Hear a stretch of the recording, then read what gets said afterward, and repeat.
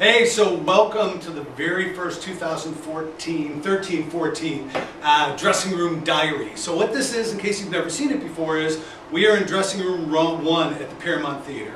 And uh, we get together with different artists and the directors of our Broadway shows and get a little behind the scenes of what's going on. So we're kicking off the year with In the Heights and our very first guest of the year is Rachel Rockwell. Rachel, thanks for coming again. Absolutely. Man. So it's exciting. Today is August 19th. Yes. And technically it is the very first full cast rehearsal It is. Yes, we just had our big meet and greet and a tour of the theater and a lot of research talk and design talks and it was the first time we were all in the room together and it's a very exciting, nerve-wracking day. Yeah, and it's cool because uh, I got to come to one of these and talk about who I am and what we're doing with the marketing department and that kind of stuff. And you do, you feel that energy. Like mm -hmm. it's everybody start getting excited because you know four weeks from now we're opening a show September right. 11th it's, on it. It's all possible. Yep. You know, everything is possibility today, which is great. So how long have you been working on the show? Oh man, we've been casting it since April, and we finished about three or four days ago.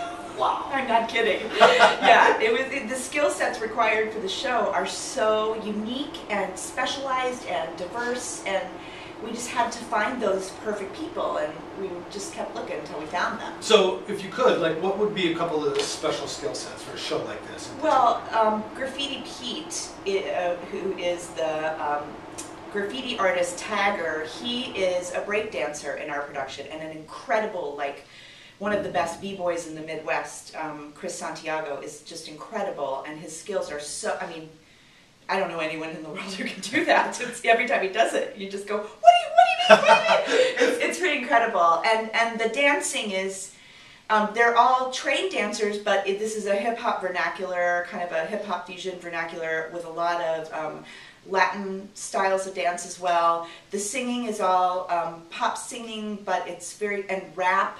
It's a really um, broad genre for, and you know, a lot of. And we've never done anything like this. No, well, there aren't any shows like this. This is it. Right, this is yeah. like the most unique, um, freshest thing to happen to Broadway, I think, in a in a long, long time.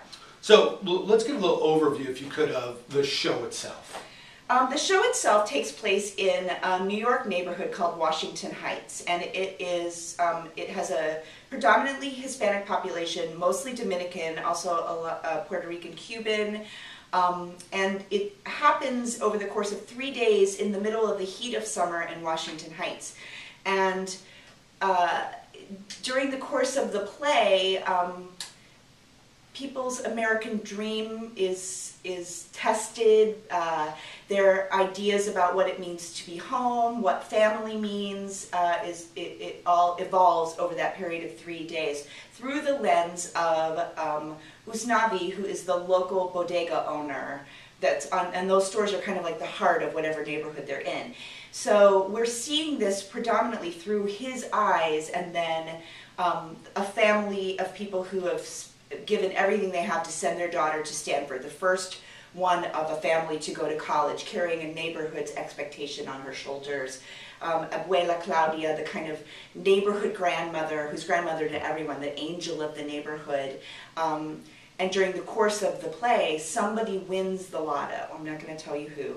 Um, but somebody wins the lotto, and it is a life-changing thing in this neighborhood, but also the dreaming about who, what you would do with that money and how it would change your life is, is a, a, a big part of this neighborhood.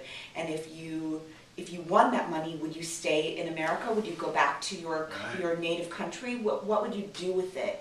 You know, did you come here to stay here? Did you come here so that you could send money home, so that you could bring the rest of your family here? Like what each individual person's journey is um, will they become a citizen? Are they?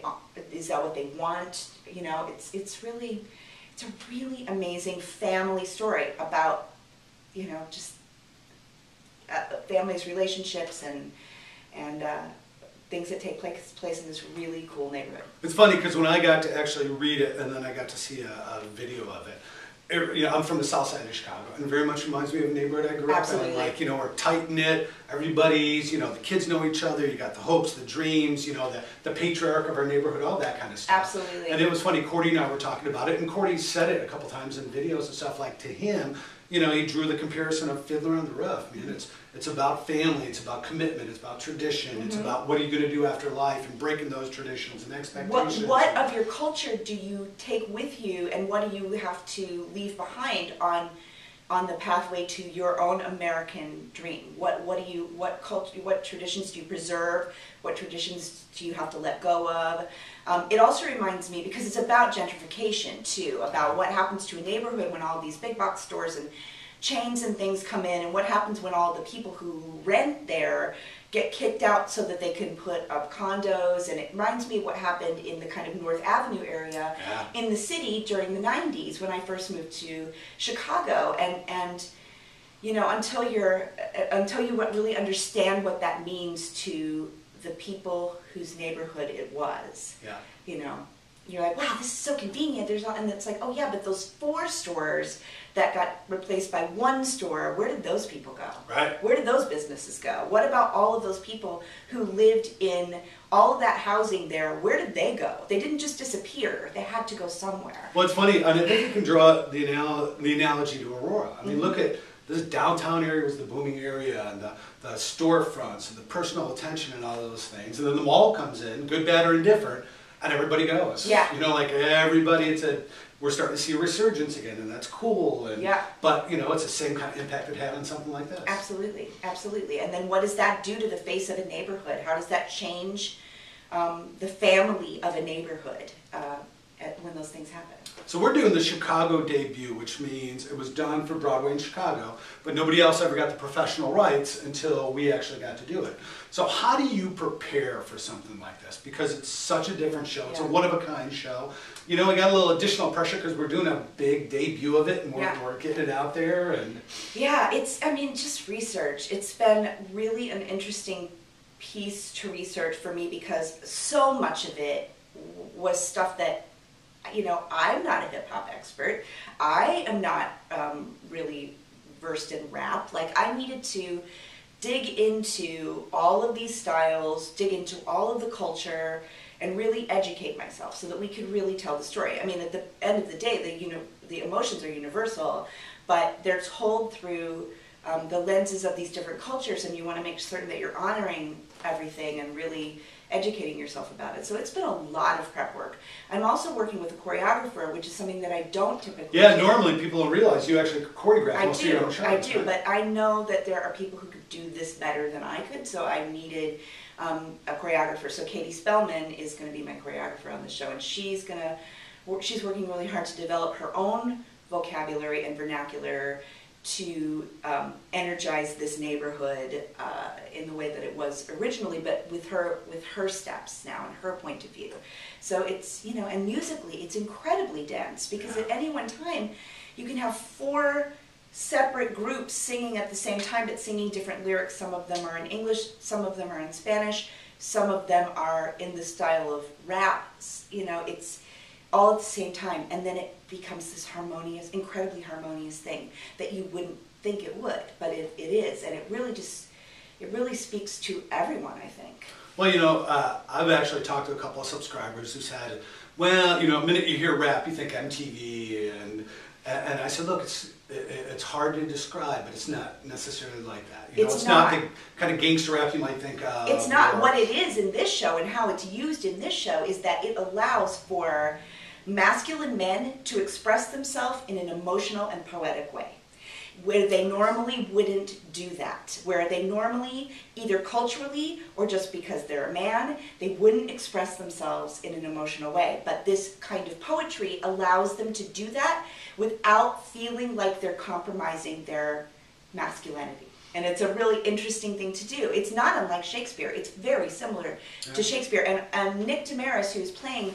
usnavi who's the one who primarily raps in the show um, he is also a hip hop Shakespeare teacher, so he combines the the two genres and teaches it to school kids.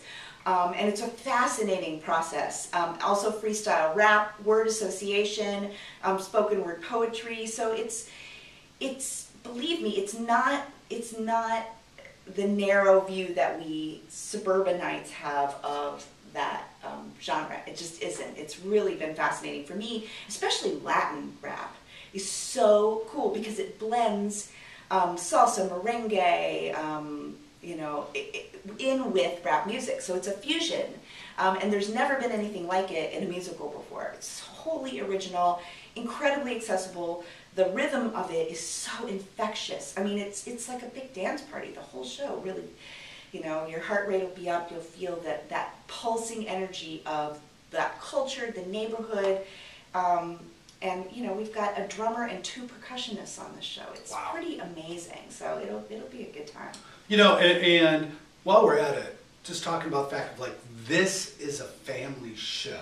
I mean, and, and I, we keep trying to reinforce that to people that hey, look, you know, it's, it takes place in New York. It's in the Heights. It's you know, uh, 182nd, right in Washington. But look, Yeah. you know, it's it's got this diverse, beautiful music. It's this huge, high energy, exciting dance thing. that- Absolutely. like bring your kids, Oh, bring grandma. My I mean, son, are you kidding me? That was abuela. She's not really my abuela. He's listening to it in the car. He can rap it better than I can. I mean, he really, he really, really digs it. And he was so excited to see who who Usnavi was going to be. Like, who'd you pick? Who'd you pick? Nice. Yeah, yeah. He's really, he's really into it. It's a, it's a really cool show, and, and it is appropriate for our families. It's, it's. Yeah. yeah. So how do you pick your creative team for something like this? Because it's such a different show. It is a different. It's not your show. standard. It's not. I mean, well, our music director, um, Tom Vendafreddo, is young and hip um, and really smart, also an actor, really brings a lot to the table. Katie Spelman, again, uh, you know, really um, is inventive in terms of vocabulary and does things that I don't do. And Elizabeth Flauto, our costume designer I've known forever, she's so great at making people look real and authentic and also um, feel great about themselves on stage. Everybody always wants to buy their clothes after they do a show like, she dresses me better than I dress me. Um, and uh, you know, our stage management team is great. Our sound designer Jeff Dublinsky knows this show like the back of his hand and